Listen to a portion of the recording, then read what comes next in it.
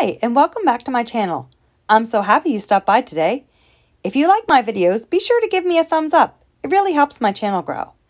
If you want more easy, budget-friendly DIY videos, be sure to subscribe. I post new videos on Wednesdays and Sundays. Okay, let's get started with today's project. The supplies that will be needed for today's project is a flower pot, which is approximately 4 inches, a glue gun and glue sticks, nautical twine, scissors, acrylic paint, decorative bees, and ribbon. Hi, I'm starting off the project by running a thin bead of glue along the bottom edge of my flower pot. I'm taking my rope twine and I'm pressing it into the glue, holding it firmly to make sure that it stays attached.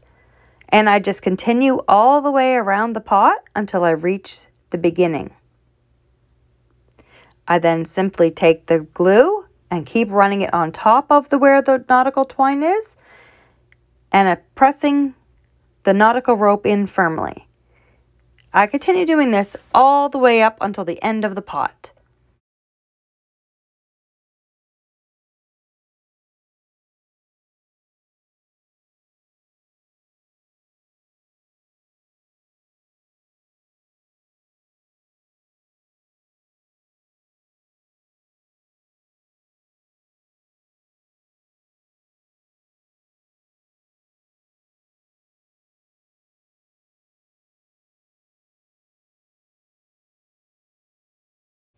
Once my rope reaches the top of the pot, I continue coiling it around until the entire top of the flower pot is filled in, leaving about a quarter of an inch free at the top. I determine how long I want my handle to be and I cut my nautical rope and then I stick it uh, some hot glue down in the hole and then firmly press the handle in place.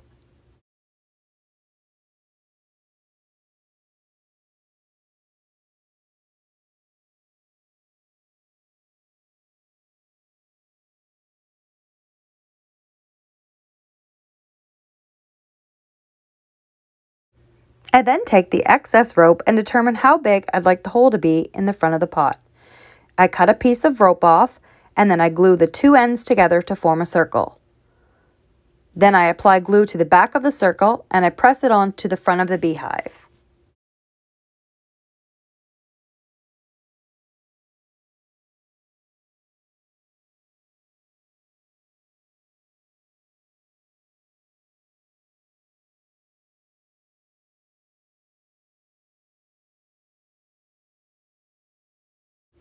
I then take a paintbrush with my black acrylic paint and paint the inside of the circular part of nautical rope.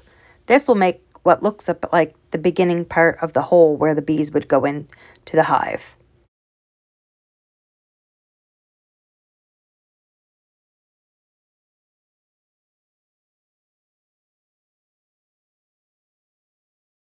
The final two steps are just decorative. I add two wooden bees that I made using wooden round beads and scraps of plastic for the wings, and I attach a bow to the top. And that's our finished product. Hope you like it. Thanks for stopping by.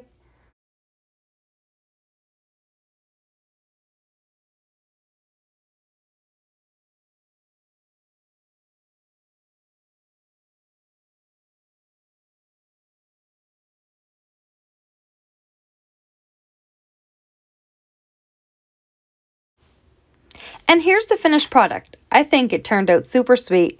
I love the way that the little bees make it look so realistic. This would make a great gift or even a decoration for your house.